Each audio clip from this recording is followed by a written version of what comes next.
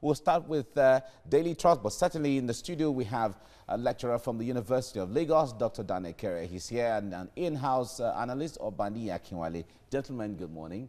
And, and uh, Happy New Year. morning.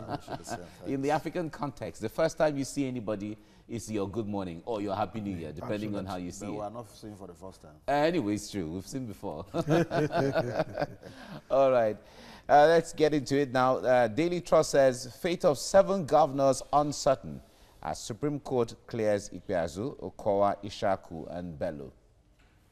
Uh, that's uh, the Daily Trust there. From there, let's go to the blueprint that says in seven years, bandits kill 6,000 in Zamfara.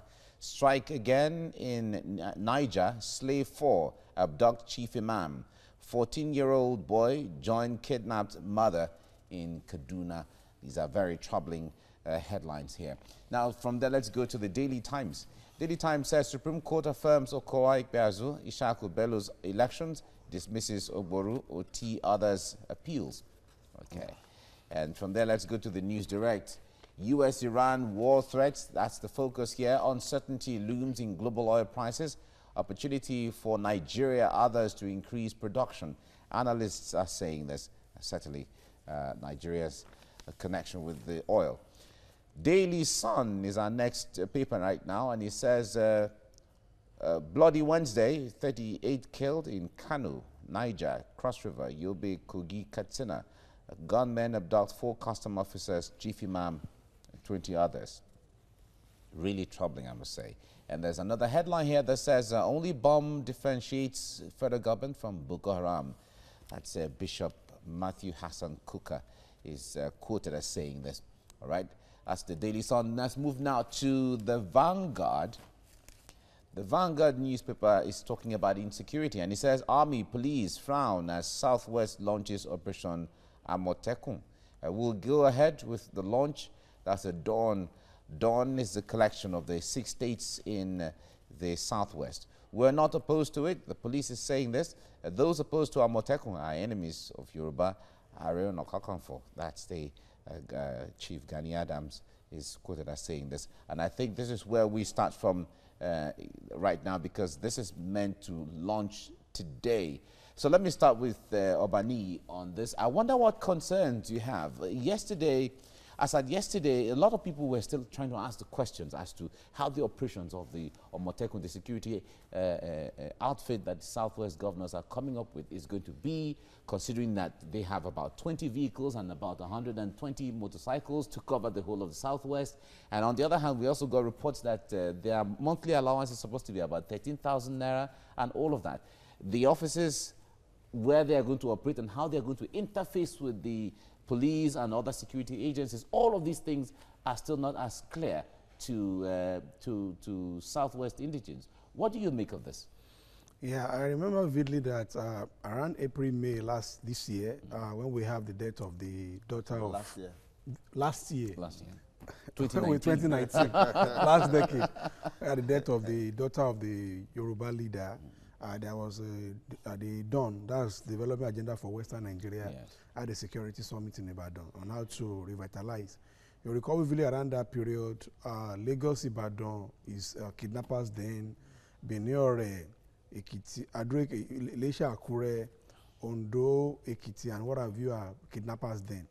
And then you remember there was a pronounced kidnap case of some people coming for redemption camp, mm. and they were kidnapped and police through the head of the local securities were able to trail the kidnappers to where they hide their uh, their victims. Victims, mm. and that gave birth to they have a summit in which the the chiefs uh, the chief security officer or the SA to the security to the governor who happens to be the former commissioner for police for Lagos State. That's uh, the former commissioner for police Lagos. I forgot his name now. That's Fatai Owoseni. Fatai Owoseni. And all of that SA meets together to mm. see how they can. We have always been asking for situation whereby you have community policing.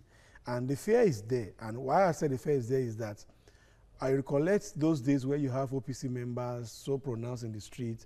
Their boys harass people because they feel that they have government backers and they are also security in the outfit. So there is no doubt about it that there will be an operation in the air that are we not bringing back the days of Egbesu boys, Bakassi boys, where you find equipment in wrong hands and we begin to become terrorists. But nevertheless, with all those concerns, it's also important that it gives the government opportunity to say, in your in TVC, Mike, you are the security officer on TVC. Mm.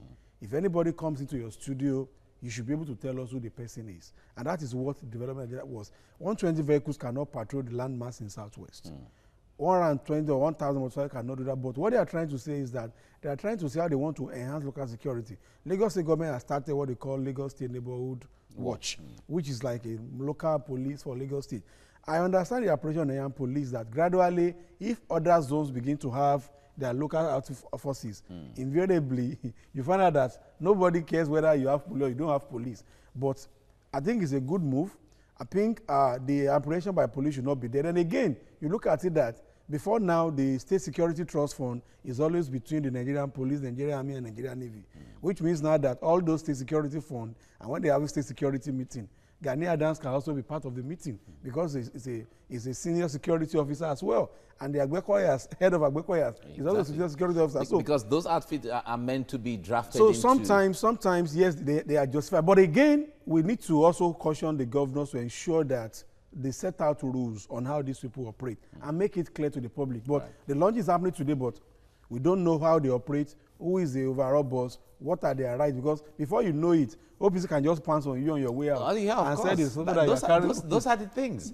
Dr. Kerry, I, I wonder what concerns you have, because on the other hand, a lot of people we have spoken to have say, are saying that it is just an idea that you're beginning to, you're beginning to see the, the writing on the wall that it is ripe for you know, state police and all of that this is not just Southwest. There are also other different, you know, agents, agencies created in different yes. states. Hisba of, of, the, of the, there's the Hisba in Kano, yeah. there's the Colombo mm. in Cross River State, State, the Livestock Guard in Benue. There's so many of them scattered in most, in most of the states.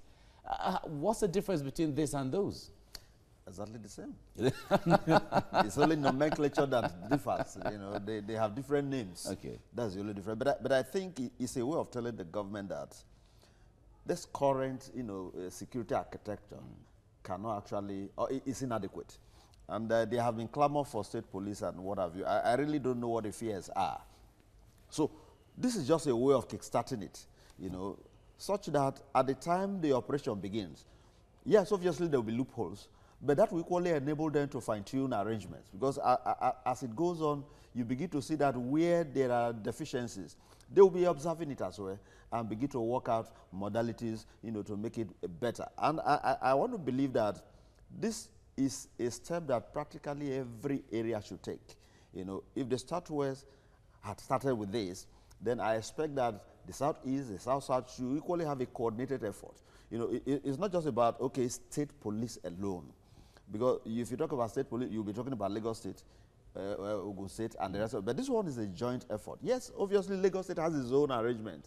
And I'm sure many other states have the same. But this is a coordinated effort. And I think that at the time we harness, we harmonize all our efforts, you know, towards, you know, security of our people. Mm we'll have a better approach. All right. Mm, I think it will be a better approach. It's okay. So uh, the, the, most important thing is let's let's approach it positively yeah, with an open mind. Absolutely. Okay. Dr. Danny Kerry, thank you very much for coming on the thank program. You so, Obani Akinwale, thank you very much. Right. You're watching TVC Breakfast and we're streaming live on YouTube. You can also connect with us on Twitter using the hashtag TVC Breakfast. I have with me in the studio lecturer from the University of Lagos, Dr. Dan Ekere, and in-house analyst, Obani Akinwale. Gentlemen, good morning. Thank you. We'll start with uh, Daily Trust, but certainly in the studio we have a lecturer from the University of Lagos, Dr. Dan Ekere. He's here, and an in-house uh, analyst, Obani Akinwale. Gentlemen, good morning. And uh, Happy New Year. in the African context, the first time you see anybody is your good morning or your happy new year, depending on how you see it. We are not seeing for the first time. Uh, anyway, it's true. We've seen before. All right. Uh, let's get into it now. Uh, Daily Trust says fate of seven governors uncertain as Supreme Court clears Ikpeazu, Okowa, Ishaku, and Bello. Uh, that's uh, the Daily Trust there. From there, let's go to the blueprint that says in seven years, bandits kill 6,000 in Zamfara. Strike again in Niger, slave four, abduct chief imam. 14-year-old boy joined kidnapped mother in Kaduna. These are very troubling uh, headlines here. Now, from there, let's go to the Daily Times. Daily Times says Supreme Court affirms Okowa Ikpeazu, Ishaku Bello's elections, dismisses Ogboru, Otti others' appeals. Okay. And from there, let's go to the News Direct. U.S.-Iran war threats, that's the focus here. Uncertainty looms in global oil prices. Opportunity for Nigeria, others to increase production. Analysts are saying this, certainly uh, Nigeria's connection with the oil. Daily Sun is our next uh, paper right now, and it says, uh, Bloody Wednesday, 38 killed in Kano, Niger, Cross River, Yobe, Kogi, Katsina. Gunmen abduct four custom officers, chief imam, 20 others. Really troubling, I must say. And there's another headline here that says, uh, only bomb differentiates federal government from Boko Haram. That's uh, Bishop Matthew Hassan Kukah is uh, quoted as saying this. All right. That's the Daily Sun. Let's move now to the Vanguard. The Vanguard newspaper is talking about insecurity and it says Army, police frown as Southwest launches Operation Amotekun. Uh, we'll go ahead with the launch. That's a Dawn. Dawn is the collection of the six states in uh, the Southwest. We're not opposed to it. The police is saying this. Uh, those opposed to Amotekun are enemies of Yoruba. Aare Ona Kakanfo. That's the uh, uh, Chief Gani Adams is quoted as saying this. And I think this is where we start from uh, right now because this is meant to launch today.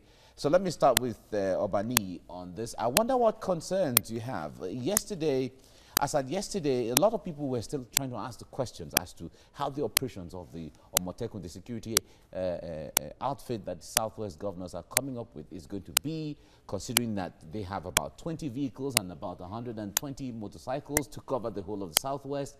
And on the other hand, we also got reports that uh, their monthly allowance is supposed to be about 13,000 naira and all of that. The offices where they are going to operate and how they are going to interface with the police and other security agencies, all of these things are still not as clear to, uh, to, to Southwest indigents. What do you make of this? Yeah, I remember vividly that uh, around April, May last this year, uh, when we have the death of the daughter of last year. Last year. Last year. 2019. 2019 last decade, at the death of the daughter of the Yoruba leader, uh, there was a, uh, the DAWN, that's Development Agenda for Western Nigeria, yes. at the Security Summit in Ibadan on how to revitalize. You recall vividly around that period, uh, Lagos Ibadan is uh, kidnappers then, Benin Ekiti, Adre, Ilesha Akure, Ondo, Ekiti, and what have you are kidnappers then. And then you remember there was a pronounced kidnap case of some people coming for redemption camp, mm. and they were kidnapped, and police through the head of the local securities were able to trail the kidnappers to where they hide their uh, their victims. victims. Mm. And that gave birth to they have a summit in which the the chief uh, the chief security officer or the SA to the security to the governor who happens to be the former commissioner for police for Lagos State. That's uh, the former commissioner for police Lagos. I've forgotten his name now. That's Fatai Owoseni.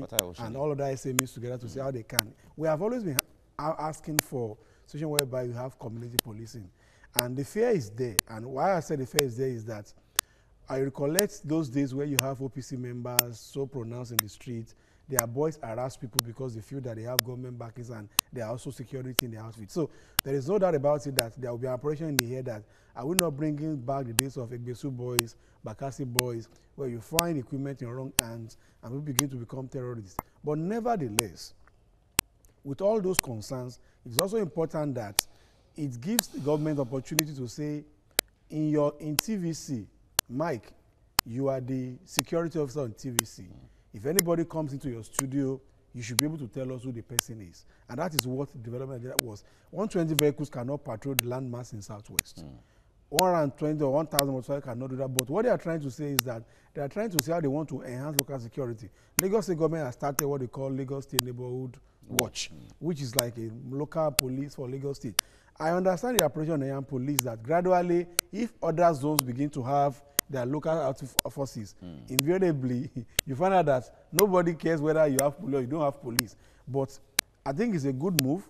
I think uh, the operation by police should not be there. And again, you look at it that before now, the State Security Trust Fund is always between the Nigerian Police, Nigerian Army, and Nigerian Navy, mm. which means now that all those state security funds, and when they have a state security meeting, Gani Adams can also be part of the meeting mm. because it's, a, it's a senior security officer as well. And the Agbekoyas, head of Agbekoyas, exactly. is also a senior security officer. Be so, because those outfits are, are, meant to be drafted So sometimes, sometimes, yes, they, they are justified. But again, we need to also caution the governors to ensure that they set out rules on how these people operate mm. and make it clear to the public. But right. the launch is happening today, but we don't know how they operate, who is the overall boss, what are their rights, because before you know it, OPC can just pounce on you on your way out oh, yeah, and course. say this. that, those, are, those, those, are the things.